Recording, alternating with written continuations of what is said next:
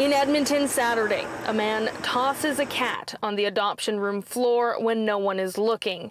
And in Calgary, a cat left outside a rescue in a cage, not found until the next morning. When we see stuff like this happen, while it hurts our hearts and it hurts, you know, our souls, it it really I think speaks to how much people are struggling. It comes as animal rescues in Alberta seeing wait lists not for adoptions, but those looking to surrender animals. People are, are struggling right now. Um, it's really expensive to just live at the moment.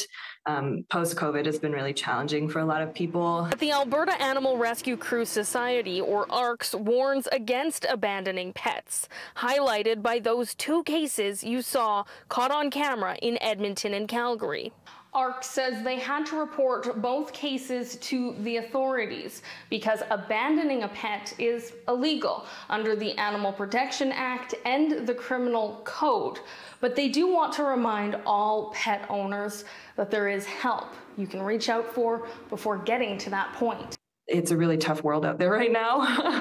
and uh, there are a lot of animals that need help. There are a lot of people that need help. From the lack of affordable pet friendly rentals to medical needs, AARCS understands sometimes surrendering is the only option, but says there are programs for those struggling financially who want to keep their pets. And we'll do our best to help.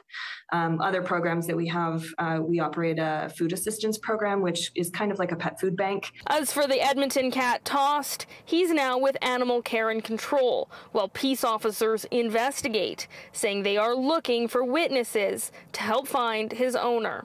In Edmonton, Carly Robinson, City News.